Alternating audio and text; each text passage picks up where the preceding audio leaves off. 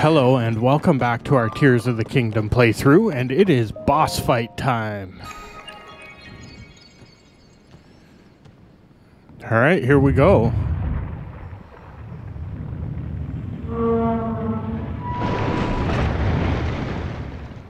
Huh? It opened. We gotta smash those red rocks and rescue Zelda.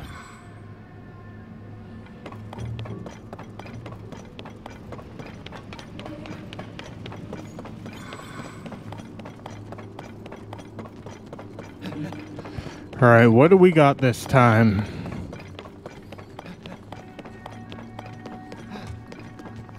Here I go!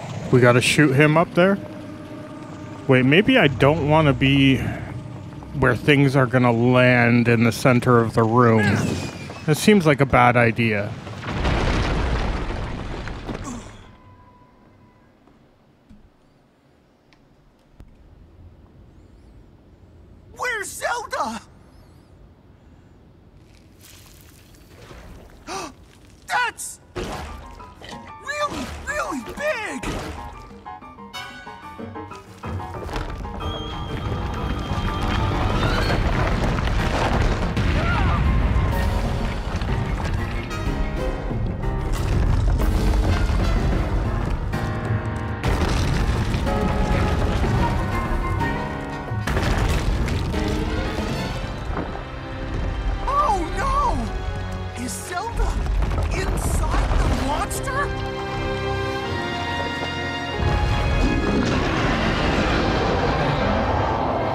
Well, Gohma's back.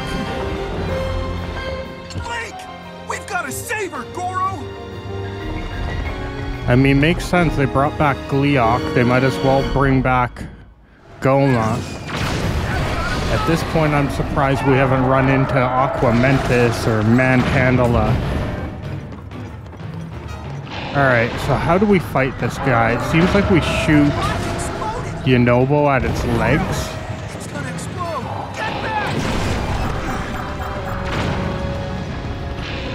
Just gotta watch out for all the explosions. Here I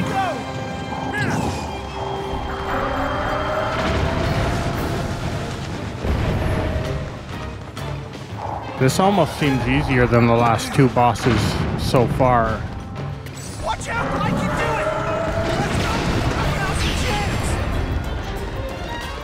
Okay, so if we hit it twice in the legs, it falls down, and then we can smash it in the eyeball.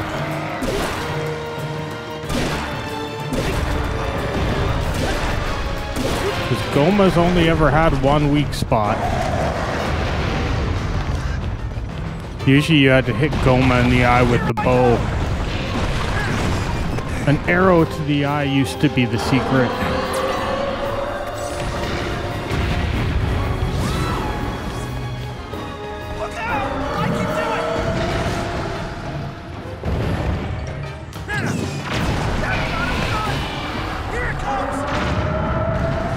Okay, one more leg.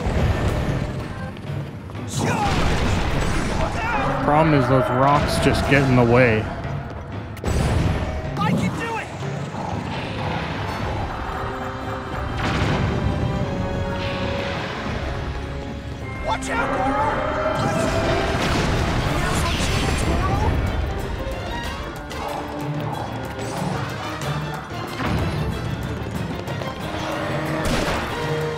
This thing doesn't take a lot of damage. We're using a pretty powerful weapon on it too.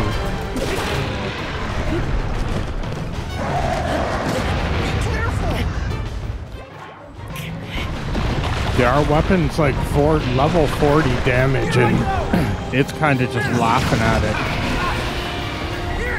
I wouldn't want to come in here with weak weapons. You'd be doing this all day.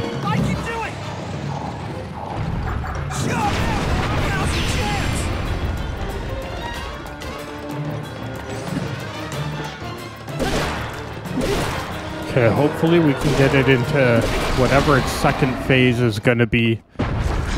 Let's face it, they all have a second phase in this game.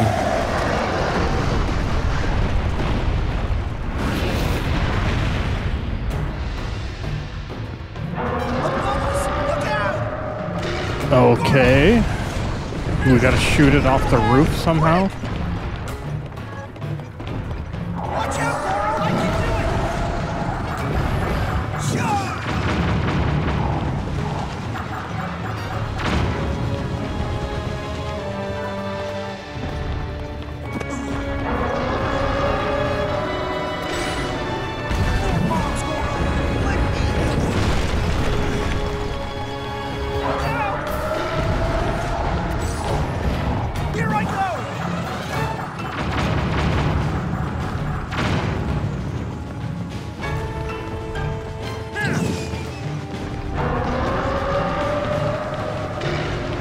He goes right under it somehow.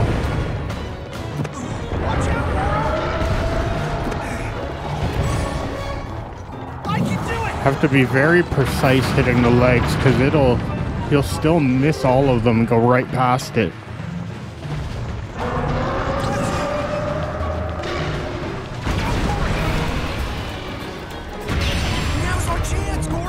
Got it. Well, the first phase took about three rounds, so I'm guessing we've gotta knock this thing off the roof about three separate times just to kill it.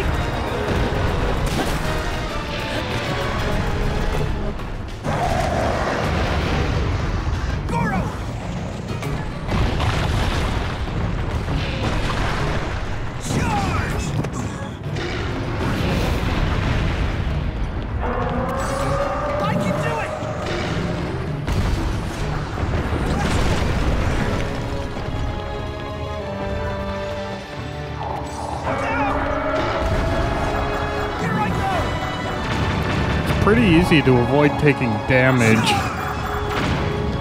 Just takes a while to hit it enough times. You gotta be persistent with this fight.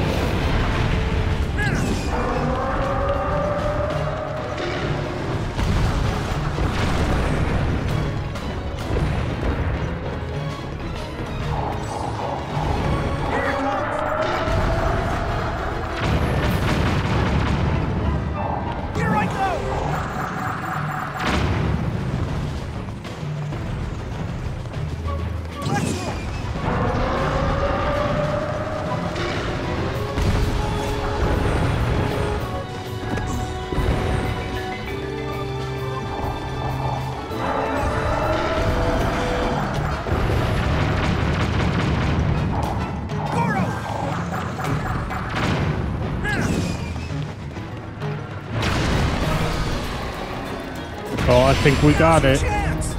This should finish the fight.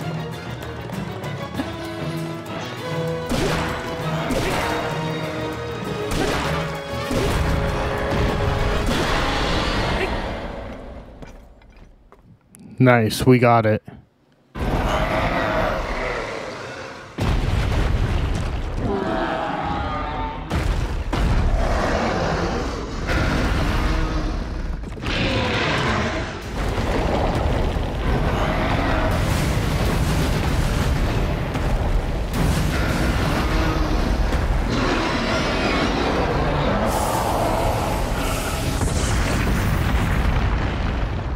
Gohma went nuclear.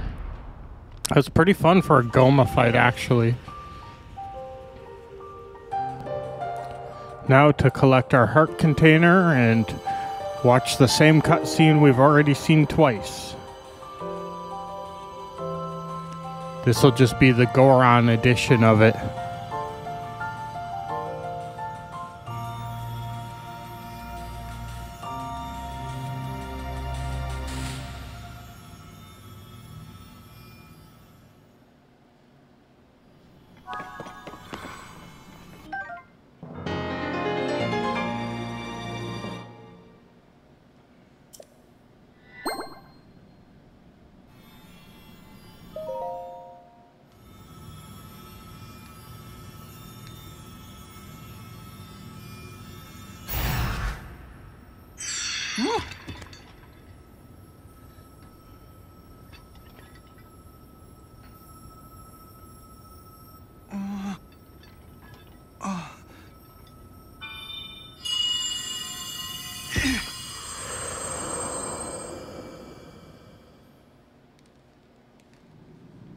Yunobo, Little Rock.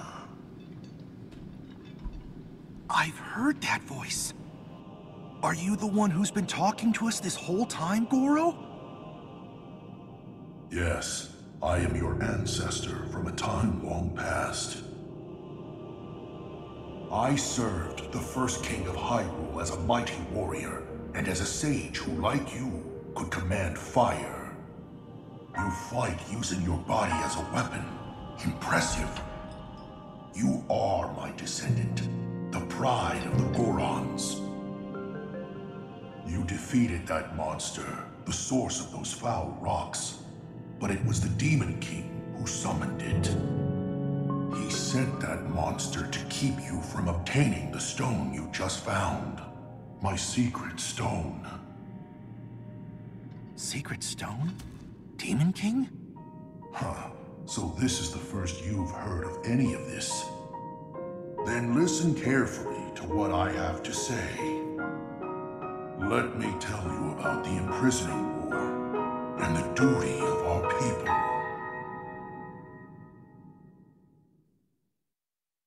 Many years ago, in the kingdom of Hyrule's earliest days,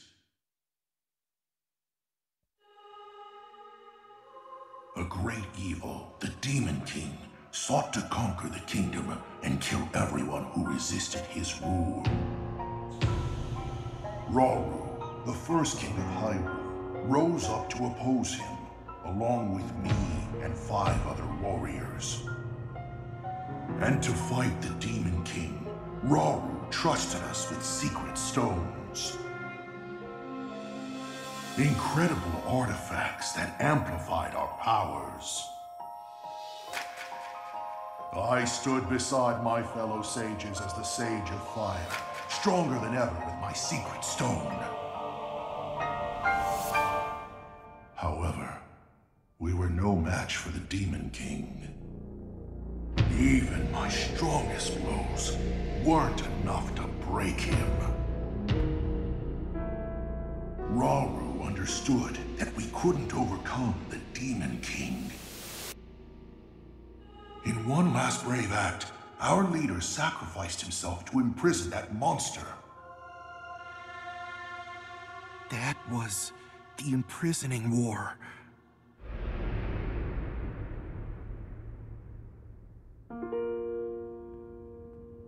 And then sometime later, Sage of Time, one of the six sages, came to me. Her visit would set the Goron's duty in stone.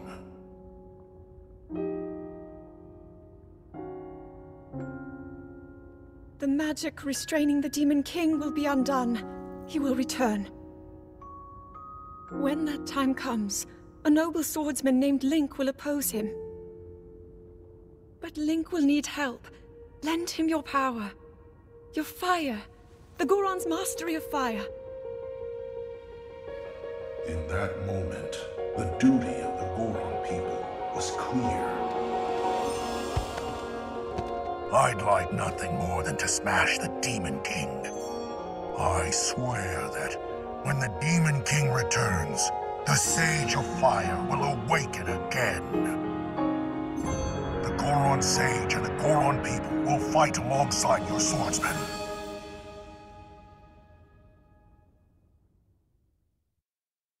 And that's what you need to know about the imprisoning war and of our people's duty. You saved Goron City, but the Demon King is still out there.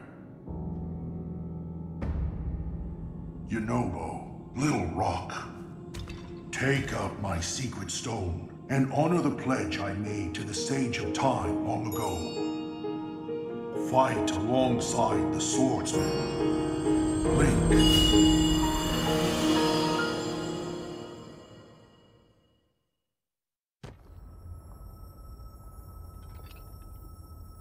So, it's my duty to help you fight? Hmm. And he wants me to inherit this? Really? Uh, I don't know if I'm nearly as great as my ancestor was. But then, If I don't help out, I'd be letting everyone else down. There's no way I'll let that happen. I can do this!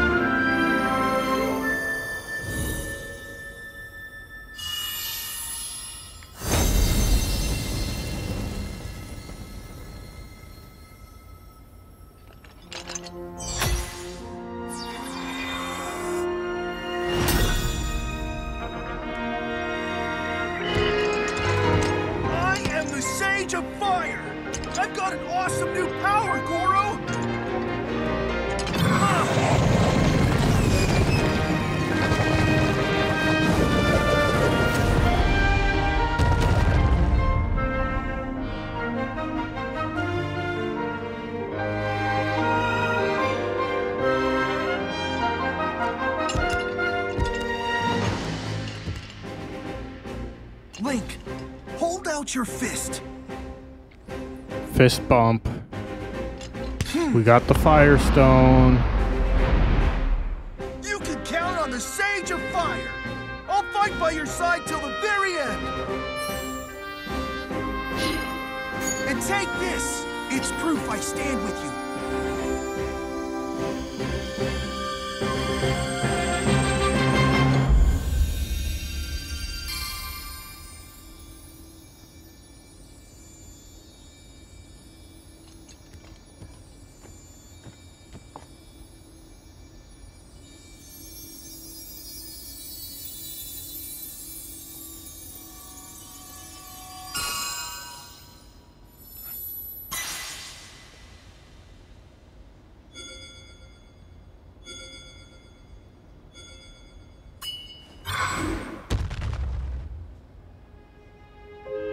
That ring, you'll be able to call on my power anytime, Goro.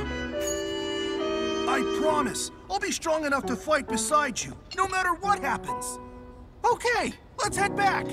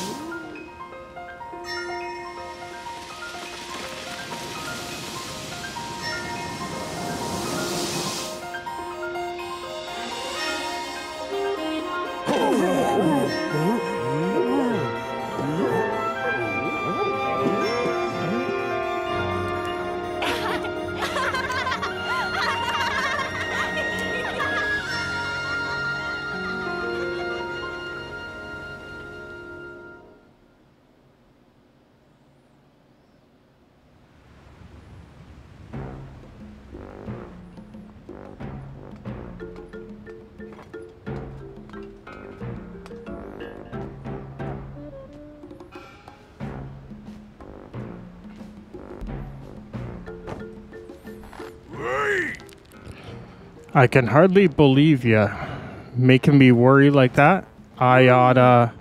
Please don't be mad at President Yunobo. It's okay, Slurgo. I'm the one who made such a mess of things after all. If I had just been more careful.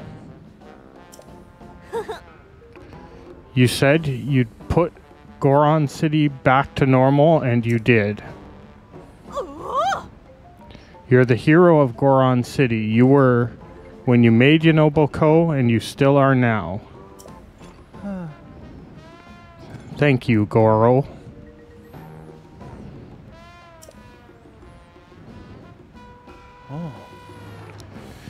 And we have to thank you too, Link. You got rid of the marbled rock roast, and smiles are coming back to Goron City. I keep imagining what might have happened if you hadn't broken that mask. Uh, no, I can't even think about it.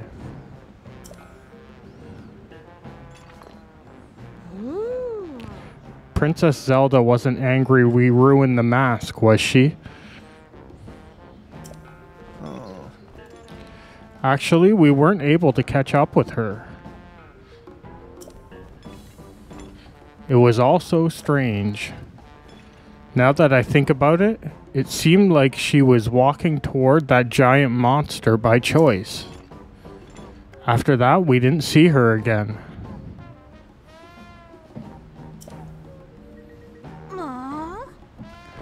President Yunobo, do you think that maybe Princess Zelda is one of the bad guys?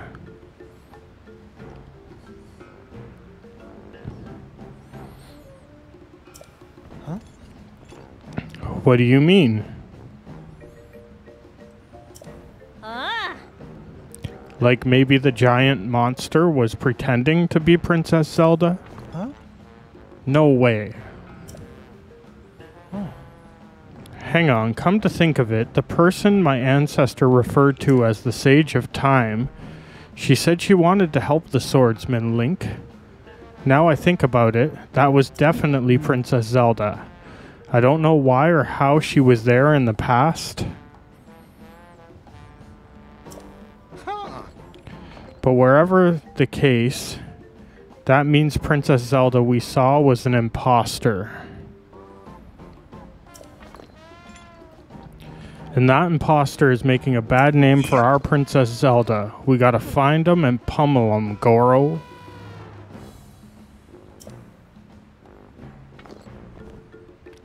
I'll ask my guys at Yunobo Co. to search the area around the city for any leads on the princess. Even if you're not here with me, we'll still be connected, Link. You can count on me.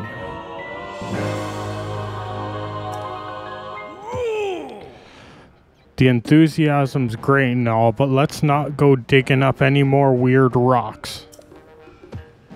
You got that, President Yunobo?